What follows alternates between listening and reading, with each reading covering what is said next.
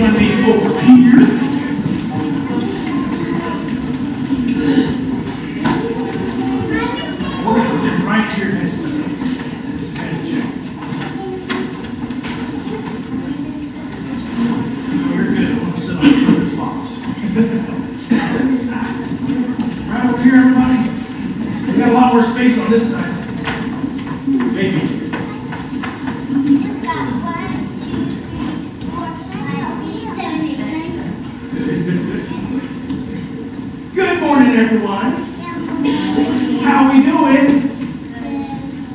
That was exciting. I'm glad you're all here.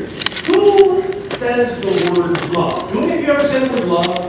Yeah, I hope my, um, not my pet love, but we're getting the cat. You're getting a cat. You're a love cat love? Nice, that's a good name. You say love about things in your life, like, what do you say love about? I love chocolate. You love colors? That's right. What about other things? What do you love? Oh, you're a man, that's right. Does anyone love their shoes? Yeah. What about video games? You love video games? Yeah. You love brownies? Okay. I love brownies. With Ice cream? No, no ice cream. What about rainbows? Ooh, I love rainbows. Yeah, what about rain? Who likes rain? Who loves rain?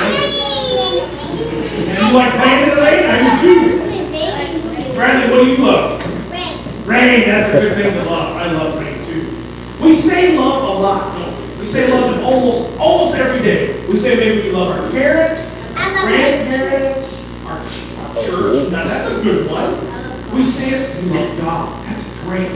Well, we say it all the time. And we say it so often sometimes that it becomes so, what we call routine. It almost loses its meaning because we use it so, so much. Well, in our gospel today, Jesus is going to talk about love. But he's not going to talk about the love that we have for our shoes or brownies or colors even. Jesus is going to talk about his love for God. And about his love, Jesus' love for the world, for all of you and all of these people here. He's going to talk about what that love means, and how much he's willing to love us.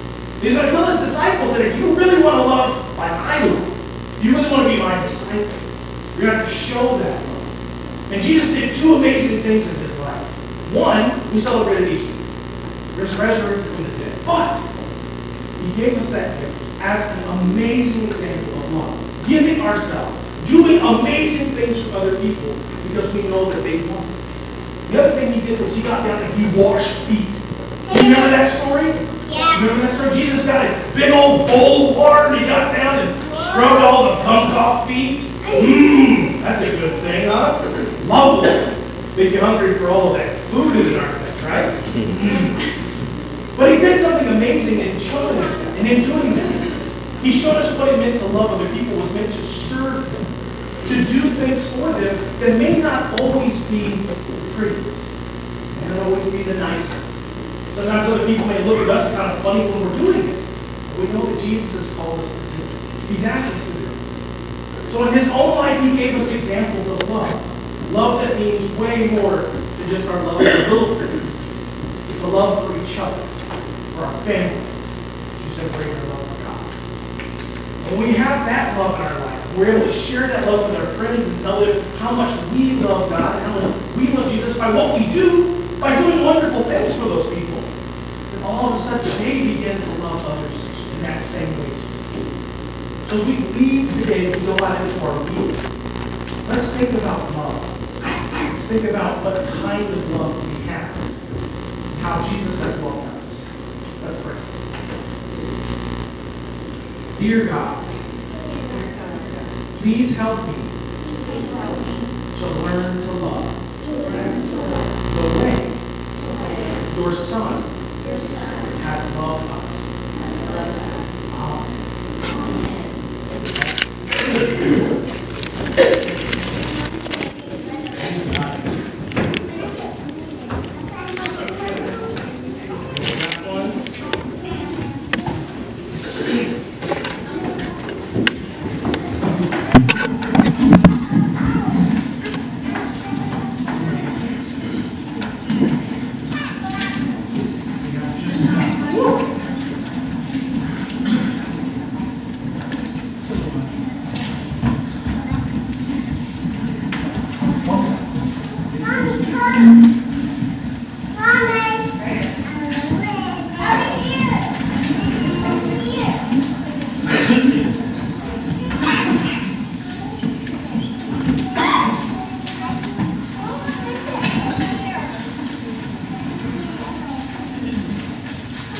A reading from the 11th chapter of Acts. Now the apostles, now the apostles and the believers who were in Judea heard that the Gentiles had also accepted the word of God.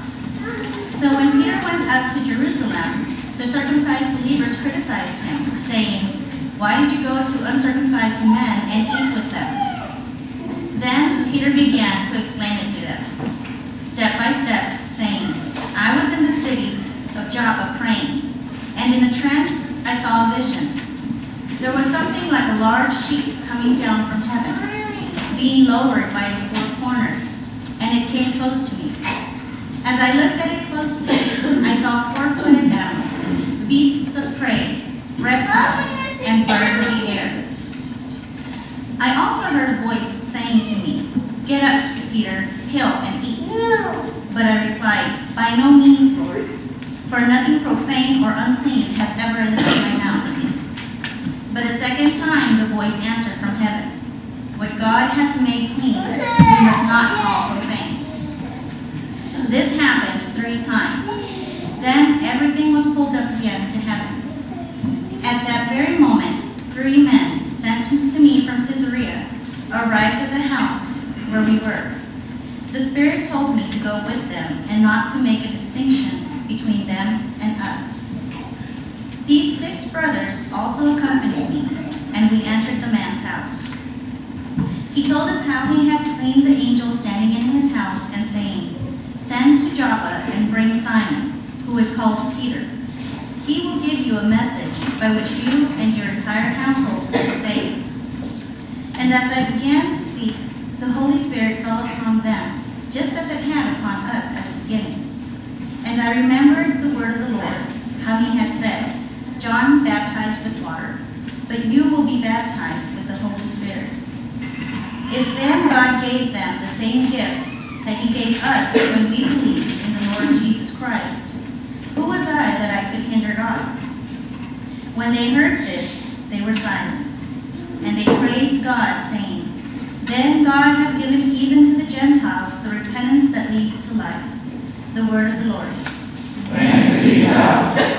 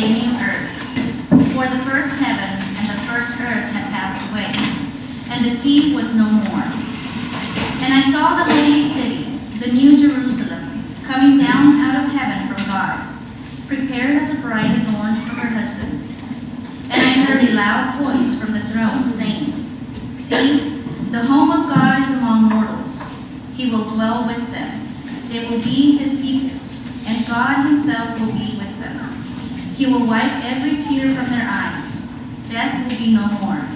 Mourning and crying and pain be no more, for the first things have passed away. And the one who was seated on the throne said, See, I am making all things new.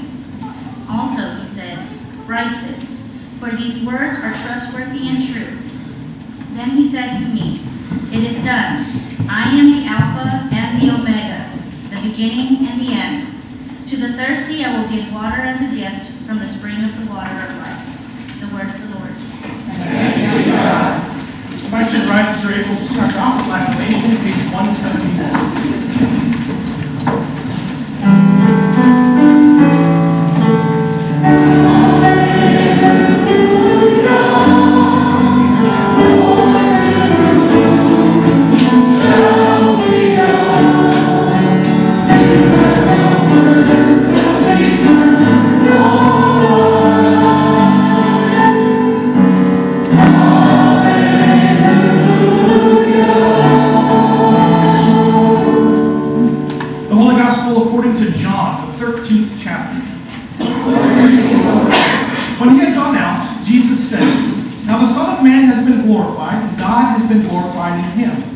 If God has been glorified in him, God will also glorify him in himself, and will glorify him at once. Little children, I am with you only a little longer. You will look for me, and as I said to the Jews, so now I say to you, Where I'm going, you cannot come. I give you a new commandment, that you love one another. Just as I have loved you, you also should love one another. By this, everyone will know that you are my disciples, if you have love. The Gospel of the Lord. Please be seated.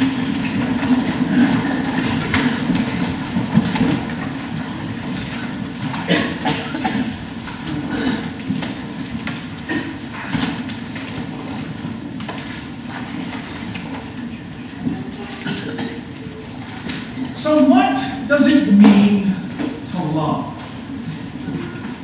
If you had to define what that word means for you or your family or your spouse or your loved one, your partner, whatever it is, how would you express that word in words? I often ask that question during wedding sermons of the bride and the groom and their friends and their family. In many cases, we have superficial understandings and even superficial definitions of what love is. We see things we want in life, objects or possessions, wealth, things we could easily classify as desires even idols. And we classify them as things we love, things we just can't live without. In reality, though, these words are just a mask for our uncertainty as to why we really want them. Is it because everyone else in our friend circle is getting the newest phone? I have to have that phone. Maybe it's a new car. Maybe it's a relationship because yours has gone stagnant. Or your family circle is unhappy with their status quo and looking at other ones, loved ones, and families' lives and relationships at their presumed happiness, it's what you want. We can easily be swayed to express an ungrounded love for and of something. I would love to have that. Or I would love to be in your shoes. Or I would love to have a relationship like yours. Especially when the going gets tough. Statements that I just shared, love is tossed around as some sort of debit and credit mechanism. As if you could walk up to an ATM of love and deposit or withdraw love, depending on whether your lives are in need of a pick me up or some sort of release. I think there's a Prince song somewhere at ATM of Love. R.I.P. Love in our culture has lost a large piece, in my opinion, of its true essence. Love is more than a reaction, more than an emotion, a word, or an empty phrase when looking out of a hot out of the oven plate of brownies. Sense of theme for brownies? Yeah. I was hungry when I wrote this. Love encompasses everything we are and everything we are to become. But how can that be? How can love be so encompassing? Because the love love Christ is imploring us to share is not a love worthy of brownies. It is a love worthy of one's own life. To read our gospel text this morning with its just its five verses is to miss a vital piece of the context in which Jesus is speaking. The context is that of the Last Supper, a very familiar scene for the church. The disciples gathered in the upper room lean across the table to hear those final words and teachings of their rabbi. Just prior to our verse, in verses 25 and 26, Jesus admonishes his disciples that one of them would betray him. And through the breaking of the bread, Jesus feeds his betrayer. Then, just after our gospel text, in verses 37 and 38, Jesus calls Peter's attention to the fact that Peter will not hold up his end of his promise. He will indeed betray Jesus not once, but three times. In both cases, Judas's and Peter's, Jesus never once judged those two for their coming actions, nor the rest of the disciples, for that matter, for their coming abandonment at the cross. Instead, Jesus does two miraculous things. The first is he gets up from the table. He puts a towel around his waist, taking the place of a servant in a home, and he washes their feet. And the second is that he speaks of his own selfless and sacrificial love. That love Jesus is speaking of is not for a specific set of people, a specific group of believers or people who have done the right things or seemingly have done, at, done it at all the right times. Instead, the love that Jesus is speaking of is one that extends from the mundane to the heroic and encompasses every self giving act in between. Jesus tells his disciples that it is by this kind of love that everyone will know they are his disciples. Writes Elizabeth Johnson. From the washing of the feet to the dying on a cross, that is what love is. It isn't a surface value expression, but worth every ounce of life. His own life, for that matter. Later on in John's Gospel, in chapter 15, Jesus will say, No one has greater love than this, than to lay down one's life for one's friends. You are my friends if you do what I have commanded you. The command isn't just to talk about love, as if it is something to be tossed around. The command is to follow in Christ's footsteps, to truly live by his example. Wow. Isn't that a scary and nerve wracking thought? For what it's worth, I don't think we or the church can sit idly by anymore.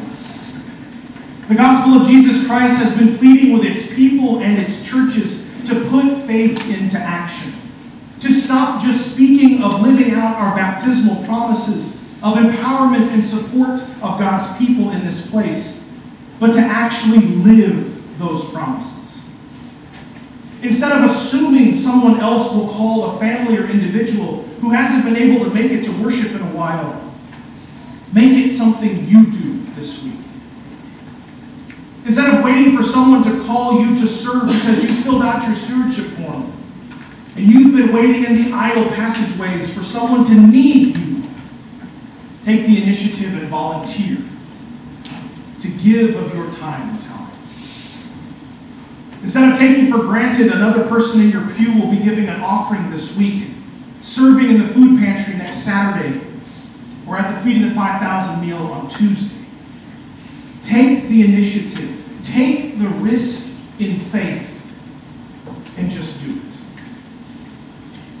Have you ever wondered why in worship, when I ask folks to stand in worship, I use the language, please rise as you are able? The concept of that phrase stems from this conversation. There are folks in this congregation, in this community, and especially in this world who cannot stand. Who, when they rise to give of their faith, life is called into question. So when we rise as we are able to sing praises and lift our voices in prayer to God, we do so on behalf of them. When those who have no voice to lift, because if they do, they will be killed, we stand in this place in prayer around our community in their stead. We stand at their side. When atrocities are committed against another person because of their race, ethnic background, or social, sexual orientation, we stand side by side as a unified body in Christ to proclaim a message of hope and grace. This is where love becomes more than just a phrase, more than just a feeling. This is the place where love becomes exemplified in us, where Christ's love becomes our love for the world. If we, sisters and brothers in Christ, are not willing to share that kind of love with the world and all who are in it, then there is a much deeper, more graven issue we need to talk about than the surface value issue of money or worship attendance. It is the issue of who we are called to be in Christ Jesus our Lord.